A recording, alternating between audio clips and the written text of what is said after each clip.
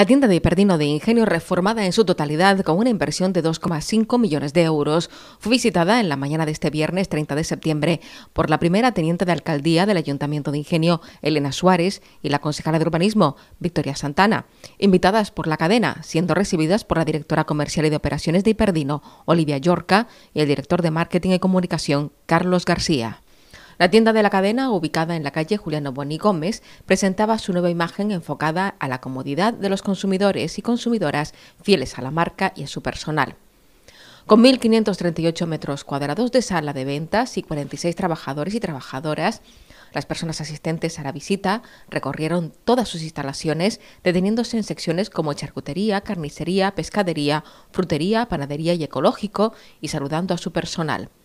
La tienda, que abre de lunes a sábado desde las 8 y 20 de la mañana hasta las 9 y media de la noche, tiene también servicio a domicilio, wifi gratuito, destacando asimismo la ampliación en más de 40 plazas del parking para clientes.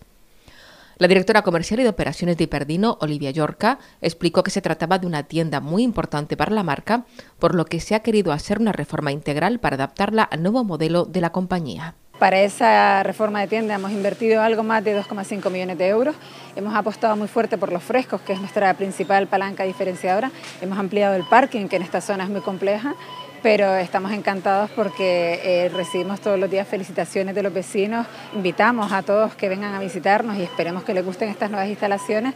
tenemos 46 empleados que están encantados de recibirles y la verdad que estamos muy muy contentos con la respuesta de la ciudadanía. Elena Suárez describió las instalaciones como atractivas, cómodas, innovadoras, adaptadas a la demanda de la ciudadanía y de la accesibilidad, que benefician no solo a las personas usuarias, sino también al personal que aquí trabaja. Nos vamos muy satisfechas, no solamente por agradecer esa invitación, sino por ver que dentro de nuestro municipio se sigue apostando por eh, mm, invertir no solamente en la mejora y el desarrollo de las infraestructuras, sino también, como nos han trasladado, en la inversión de mayores empleados en esta empresa, una empresa canaria, eh, que siempre piensa en esa, en esa mirada eh, de desarrollo local.